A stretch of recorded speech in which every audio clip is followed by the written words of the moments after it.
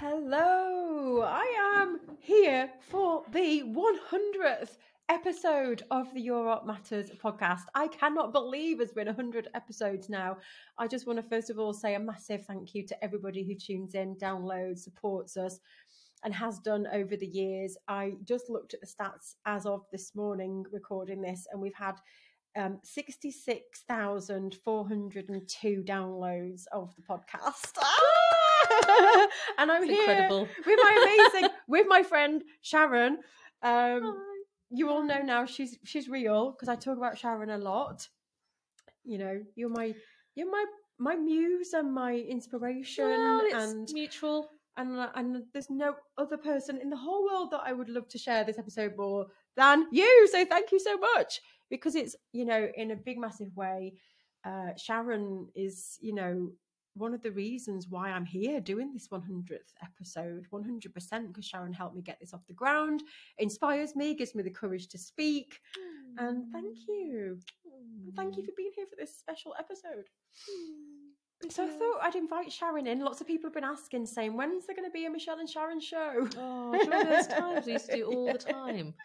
Like at- when our babies were little. We on did. a when- Thursday night. We're like, is Yeah. it free? Are they gone to bed? Yeah, yes, coming in.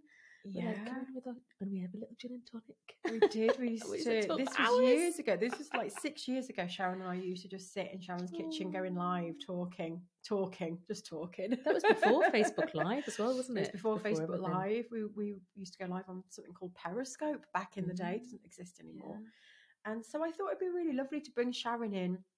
Sharon is a full time artist and sculptor specializing in clay.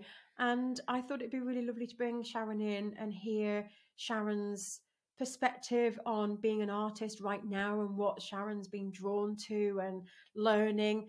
We brought Sharon in a year ago actually to talk about an exhibition at the Collect um, show, which was a year ago. We were just Can't believe it, reminiscing. it's full year. So we're going to talk to Sharon about, you know, what Sharon's learned since that time. So shall we dig back to Thank that you. point? Yeah, The the collect show was a big yeah. big moment for you, wasn't it? Because it was almost like you were going to that next level Yeah, yeah, it you was. know, it was a big deal. personally, but Yeah. also So let's talk about collect. Collect is um for those of you who don't know, collect is a is um a really big event for all of the designer makers. So if you're a maker, so if you're using anything that's a tangible object, um, such as clay, wood, metals, plastic, sculptural based, but in terms of um, a high end craft product, not necessarily product, but as a high end craft art.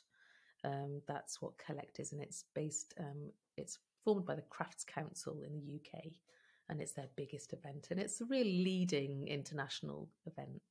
And um, yeah, I was selected with my arty buddy Wayne Chisnell, um, because we did a we did a project called Unlockdown, and it was based on being in unlock in lockdown in the UK um, throughout 2020 right through to 2022 and then we um, took our work to collect and, and showed it showcased it there. It was really really really exciting it's very exciting a very poignant part a very pivotal part of my artistic practice because it was a reaching a different audience it was um, showcasing something i hadn't done before i'd not collaborated on a project before it was very new and i learned a lot about the project myself Mm, and about the work that I really wanted to move forward with. yeah. So it was it was really quite a pivotal moment. Um, the Unlockdown project was about using a tangible um, material. So in my case, it was clay. Um, with um, so giving um, making a piece of sculpture and then giving that clay, which is really really personal to me. I love clay. I love clay. Uh, is my world, you know. It's my friend. It's my go-to thing. It's my mirror. It's you know, it's it's my Mm. material that I love Yeah. um, and um, and then to give that really precious thing to somebody that I didn't really know very well at the time, um, to Wayne in his studio to do whatever he wanted with. So then he chopped it up and he put it back together, and then he gave it to me. So we had a, basically a conversation through materials, through tangible materials, um, um, talking about freedom, constraint, um, movement, and and how do we grow, you know, from our own constraint, our own physical constraint. Um, because at the time, you know, during lockdown, you couldn't have a touch, or you couldn't, you know, see your friends, your lovely Mm, friends. Yeah. You couldn't, Yeah. you know, not even your friends. There's no sports, you know. Mm. It's such, and everyone had a different experience of being in lockdown. Some people loved it, um, and some elements of it I really did. Mm. Um, but just witnessing what was happening in the world and how it's relatable um, to us all. So using my art then, that was that the catalyst to now use my art as a platform to talk about things that we feel uncomfortable to talk about sometimes, you know, such as loss, um, um, such as you know experiences of something that's some sometimes a bit macabre and quite deep, go deep really quick, but also Mhm. something that's joyous and something that's fun you know and how can we learn from these experiences that we are that we all have and we all share because we've all got a life So, you know we all have different experiences of being in this one body that is human and this Mm. experience so yeah that was that was quite a that was quite a thing and that was last year It a year believe it. ago. it and feels like so ages I know. So, what do you feel that that show taught you in that moment, but then also a year on? I'd love to know because, you know, in that moment, I think as an outsider looking in, yeah sometimes you put so much emphasis, not you, but people in general, on that particular yeah moment yeah and the outcome of that particular moment.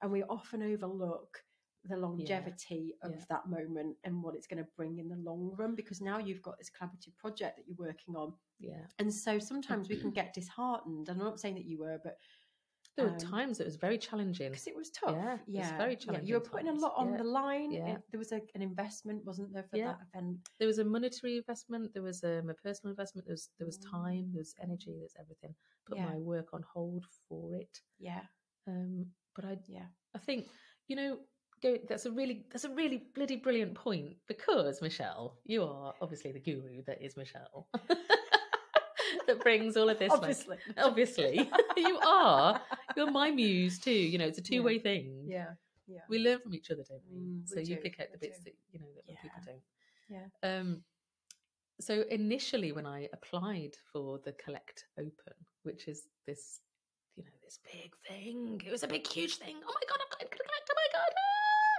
And Wayne was like yeah it's not all that you know? And i'm like what? because he'd done it before so he's at, Yeah. he's on a different part of his journey Yeah, than i was at the time. Um yeah. and and having that experience of then you know pulling out all the stops I mean, making these blooming plinths you know deciding what plinths were made were being made we made Mm, our plinths. These Yeah. white boxes that for our work to go on they had to be specific they had to be white they had to be really pristine and we got um my friend to make them he's a woodworker you know he's he's he's timber um those plinths were made, but the the wood was wrong. So we like working to a deadline. All those little tiny bits that you work towards a show, the unseen. That so when you, when you go to an exhibition, you don't see all of the work that goes in behind it. It was such hard work. It was such hard work. Uh, You know, getting the vans together. You know, getting the get you know where do you stay? Who you know all of those like nerves that you know goes with it yeah, as well. You know, emotional kind of content that goes in that Mhm. that show. It's not there, and then you've got to stay there. And the, I think the opening um, of collectors starts at nine thirty on the Thursday or the Wednesday. I can't remember, um, and and it finishes at nine thirty at night. And you don't want to not be there next to your work because you've invested so much time in that work. You don't want to not be there, so you're there for twelve hours, constantly talking. Mm. Even I ran out of words, which is like that's quite unheard of. It's Yeah, strange. that was on your kind f- of a- yeah, yeah. so that kind of um that initial oh i'm in collect oh my god it's amazing to now knowing what um who the organizers are and they're people just like me Mm-hmm. they're doing a job just like i am Yeah. and they're real people and they are not unreachable Mm. um so i learned a lot in my I, I think i gained confidence it gave me a lot of confidence in believing what i had to say was important enough for people to want to hear it which is a huge big deal for me. Yeah. yeah. So now I can go into a room, you know, with other artists, whether they are really well known or not. Um, it doesn't matter.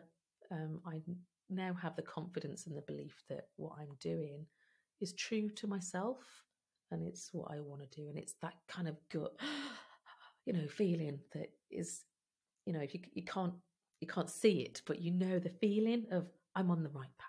This mm. is like, gets, gets, you know, gets you in your gut. Mm. Um, mm. So I know that now I've got the confidence to listen to that. Yeah. And, and then to say no. I've learned to say no to a lot of things. So I've I've had to very sadly um, say no to a lot of galleries that I was in, that I were in, mm-hmm. that um, that isn't going to help me on my my long game, my journey. Mm-hmm. Um, and it's not necessarily I want to be in the Tate Modern. It's not that. It's that I want to make the best work that I possibly can. You know, regardless of where it goes, it doesn't matter where it goes as long as I'm making the work and I'm reaching out to people that are important to me mm-hmm. you know, and sharing that story and using my art as a narrative or a platform to talk about those things that are really important to me. Mm-hmm. Whether it's like going I go into a, you know, going to a lecture. I've just been to Bath Spa University and um, worked with a wonderful department, the ceramics department there, and the students there currently who have experienced COVID, you know, and haven't had the they haven't had the you know the same experience that I would have given or shared if I was still teaching in in further education mm. in the UK. Obviously, it's different to everybody globally, but um, they haven't had the life drawing experience. Mm. They haven't had the tangible experience. They haven't had this like this touch thing that that anchors me in and makes me feel really alive. And you know, it like, it's like my mirror, my go-to place. Mm. They don't have that experience or that bodily knowledge that we have. You know, that mm. I've grown up with. Yeah, we were talking about this just before we came on actually about how you know the covid time for students has yeah. had a big impact um, and a lot of things became digital even more digital mm. than before and it was crazy before wasn't it and um, we were talking about how my son had come off you know his a lot of his schoolwork is on his tablet is on his device and it was it's almost like in that moment when he's on that he forgets what he enjoys. And when I took it away from him, he he just said, "I just don't know what to do now." I said, mm-hmm. "You go in the garden and go and play." Because he loves digging and he loves doing all, you know, just love. He can spend hours in the garden by himself, but it's really interesting to watch him in that moment go off that device and then just forget that he loves going out in the garden. Yeah. He's, he was so disconnected from himself. Yeah. Now, I know he's only eight, but this happens to all of us and it's you know really important isn't it that we we keep reconnecting yeah. through i i believe through art materials especially yeah. to connect to ourselves It is like you said that mirror yeah and that's so important i relate it to like you know the um oh there's lots of i was just about to go on for a tangent but i'm not going to do that um let's bring it back to the the tangible experience hmm. you know we see kids you know and parents and caregivers give their children a screen you know or, or a movie or a, something to just watch because they need their parents need or the caregivers need to be still yeah. and they need some time and a breathing space yeah. and it's an easy thing to do to put um, the children on you know watch something to distract them from you know to make them behave or you know conf- um, not constrict or control, but that's kind of strong words. What I mean is it's like fit, fit yeah. into the behavioural system that we need them to be in in certain times. Yeah, and maybe, maybe I'm I'm very aware of my own experience of being in, you know, in it in the seventies of being a child, the seventies and eighties when there wasn't that opportunity um, to to watch the telly all day long. You know, there's like one one program in the morning and one one in the, in the you know you know if you're lucky you know you catch Which it I used to run home from yeah. school to watch because I didn't want to miss it it's, yeah you know my own experience is very very different to um, the experience of my own children mm. and and I and I wonder I don't I don't think it's I don't think it's a bad or a good thing. I just it's for me it's about being curious about how it's affecting our behavior and how is it affecting our um, our play you know our our Mm. joy and our freedom to play and express. You know the body wants to dance and it wants to wants to be active and it also wants to be calm it needs all of that doesn't it it doesn't need to just mm. be one thing Mm.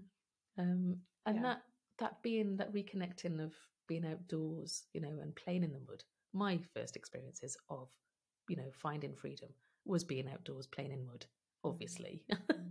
you know it's a no-brainer for me you know make things out of mud now um but i think you know on a screen it's very fast paced and it's exciting and it's like it's game and there's games are so interesting and they're there to stimulate the brain in a different way Mm. so maybe a good balance between the two would be good you know Mm. It's and- just so hard, isn't it? Because even just to remind us to stop a minute yeah, turn it off go Yeah. outside because just going back to that point um, with Isaac and just seeing how disconnected he was, and, and that was just from we have to use these devices because of schoolwork. So it's not even like some some situations we're not always using it, and I, I do use it sometimes just because I need some peace and quiet. I'm going to hold my hands up. Yeah, me too. just like there you go, watch something. um, but you know, a lot of the time as well, the schoolwork is on the devices, you, so Mm. you ha- they have to use them, and also you don't want them to be behind. And we're in this digital world; they've got to learn it, so you can't take them away from it completely, can you? Um, but it was just really interesting to see how how detached you can become in that instant of of being on that device like you say it stimulates the brain Yeah. in such a way that when you come off it it is sometimes hard to just know what to go and do and you forget what you like and what you enjoy and, Yeah. and because we are absorbed in this world you know this digital world as well um when before we came on i was talking to sharon about a sculpture that i made years ago oh let's- can And- we show it yeah, some people listening, you won't be able to to see it. I'll put, Oh, I'll, put some. it. I'll put a picture in the show notes. but um, this sculpture, I, I, it was in the shed, so I'll put a picture in the show notes if you're watching. I'm I'm just showing a sculpture sculpture which looks like it's like a sea monster. I call it. it's basically. Uh, I found this as I'm tidying the house at the minute and moving house, and oh gosh, as soon as I picked this up, I was telling Sharon, I felt part of myself in this. Like I just, I was just taken back to the moment when I made this, and I, I really was connected to this in in a really, really, really deep way. But I was saying to Sharon how how crazy it is that since I made this and I went off to art school and then in art school focused on painting um, as I progressed through the through the degree um, and and lost touch with three dimensional work and then just continued with painting and continued because that's always what I'd done and what I know. And so it it's this like disconnect. I just forgotten how much I loved making this, and I just think, why did I not carry on or do it again? And this was 15 years ago. So it's really great. It's a really great sculpture. It reminds me of like some sort of. I want to. I want to speak into it. Oh, it's like this kind of sea urchin, but it's also like a spine as well. It reminds Mhm. me of a spine or a body part or an internal Yeah. organs or some sort of thing that you could, you know, your blood Mm. flows through, and it's really tactile. I really wanted to Mm. touch it when I when I Mhm. saw it. It's like all of these like you know metaphorical vein Yeah. you know things coming out of it and Orifices everywhere. It's, it's fantastic. It's absolutely if you're fantastic. if you're listening and you can't see it, you're It's going to really be like, weighty. "What are they looking at?" but you know, I think the point in this is sometimes, sometimes the most obvious things are staring us in the face and we can't see them because we've got so. Di- I think it's about disconnect for mm. me. Sometimes it's just that life has taken over and I've just got so disconnected from this part of myself Mhm, and it got lost. Mhm. but how lovely to just re you know re-find it again. But i think there's these moments you know you were talking about the tangible, tangible yeah the and touch. really just getting connected with the basics of i loved just shaping you this.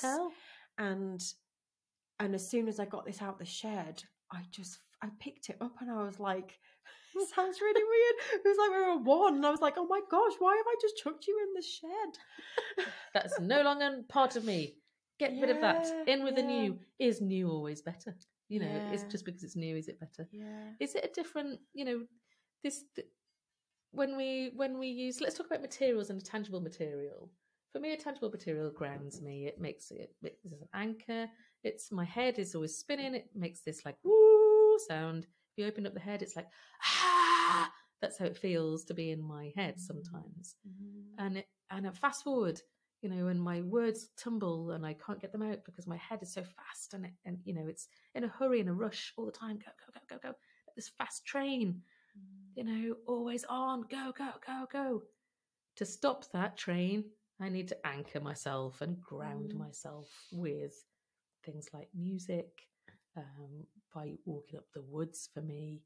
Um, and it's not like that for everybody. I know some Yeah. people who absolutely hate going outside Yeah. and it's yeah. the worst thing Yeah. ever. It's not for them. It's okay. It's this is talking about you know experiences. Yeah. Be Yeah. curious about why those experiences make us who we are. Mm. And you know the the work that I did ten years ago does not have any relevance to my life now, Mm. and my work now might or might not have any relevance to anything that I make in the future. Mm. But what I do know now is that if I know that my my head is spinning and it's emotionally charged, I can fit that emotional connection changes the molecular structure in my body, and it makes me feel awful or sad or joyous or whatever, and it changes the feeling in my body, and I need to express it somehow. Yeah. And I express mine through something that I can touch because it grounds me Mm. and it makes me feel calm. And Mm. sometimes, you know, when I'm making a sculpture in the pottery in my workshop, I am bawling my eyes out. I'm like, oh my god, oh, I didn't know that you were here. Ah!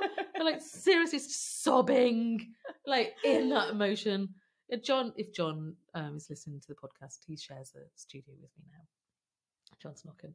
Um, if he's if he's there, it's fine because you know John and I, you know, we, like we love a good cry yeah. sometimes Yeah. but also it's the the euphoricness as well. Sometimes when I'm making a sculpture, there's this like this thing that comes alive, and I'm like, ah, this is amazing.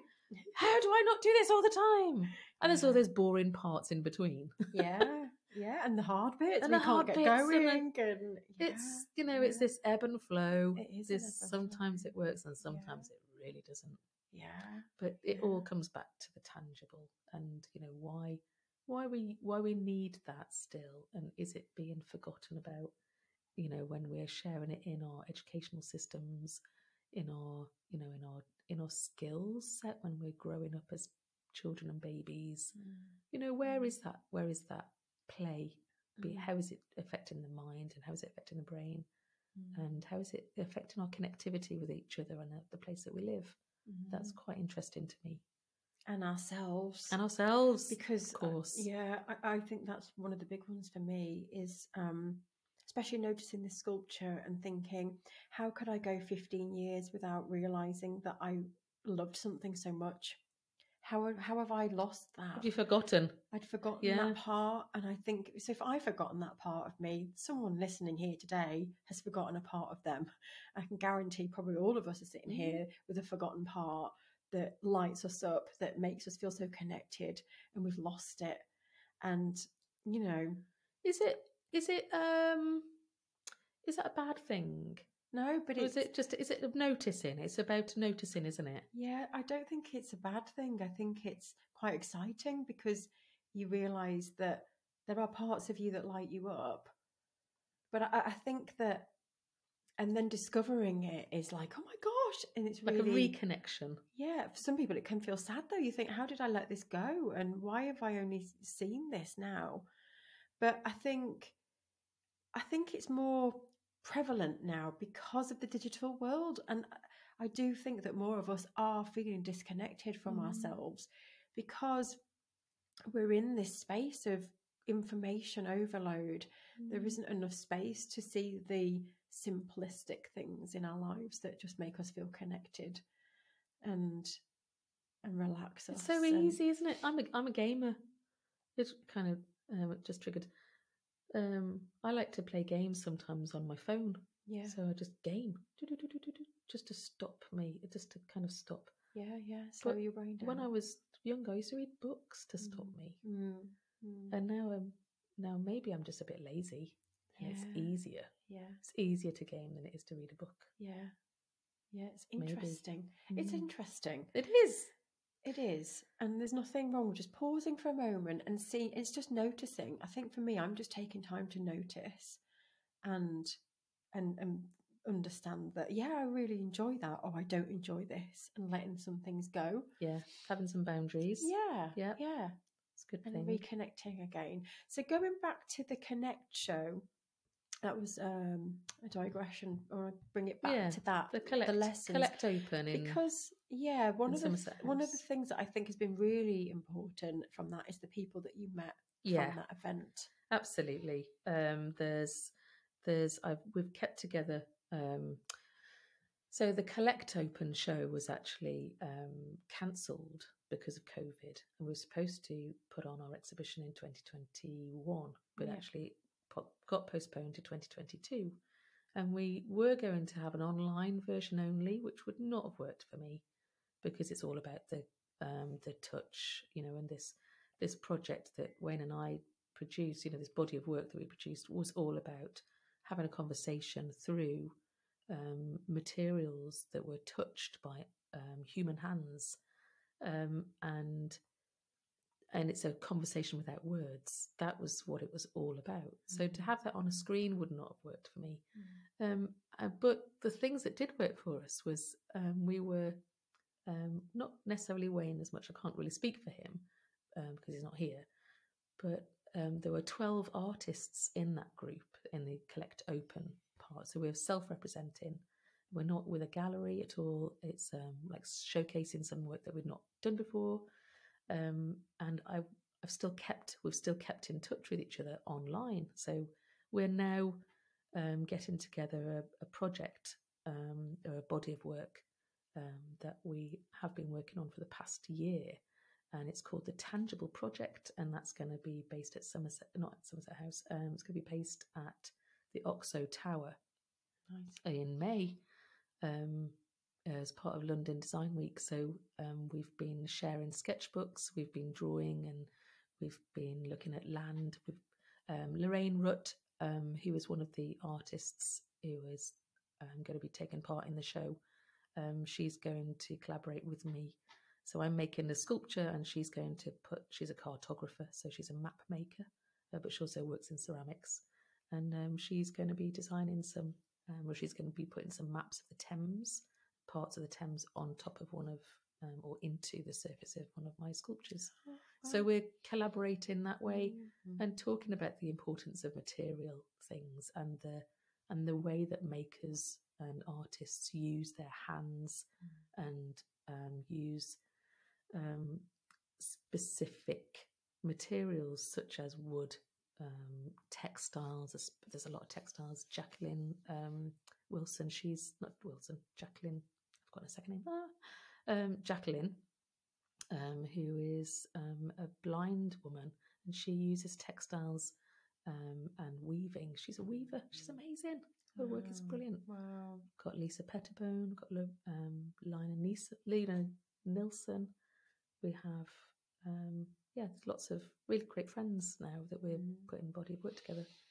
that just shows the power sometimes of events like that where sometimes people put so much emphasis on financial outcome and what do I, what do I make from this and there is so much um, I, I've noticed this throughout your career actually around connecting with people and events and early events where things didn't work out but you Yeah. always came away and said but I've met the most amazing people and those people over the years now have you know helped you build momentum haven't they Yeah. in what you're doing and i feel like each each you've you've had like different eras throughout your art career and and now like this feels like a new era and a new group of people and you know you can you're evolving aren't you you said recently it's time for you to say something new through your work and i think this is definitely you heading in that direction It really is. Mm, Yeah, mm. it is. I definitely want Yeah. my work to say something, reflect what's going on in our society around us. Yeah. Maybe making some connections with what's um, what's universal. Yeah. Not just about me, but Yeah. maybe it's about um, everybody that's on this planet. I was just trying to find a link Yeah. to the tangible project, yeah. I haven't quite got that yet. Oh, we'll put it in the show notes if you anybody wants to go take a look. You can go and look at the link for that. Thank you. Oh, wonderful! Thank you so much. Thank you so It's much been for such an me. amazing session. You lot are such an inspiration. Thank Thanks, you Michelle. for everyone tuning in. This is the amazing Sharon Griffin. We'll put links below. Um, if you'd like to go and follow Sharon and, and find out more about the project, we'll put links to that as well. And thank you. It's really amazing to celebrate the 100th episode. Here's to the next 100. Take care, everyone. We'll see you soon. Bye-bye. Bye.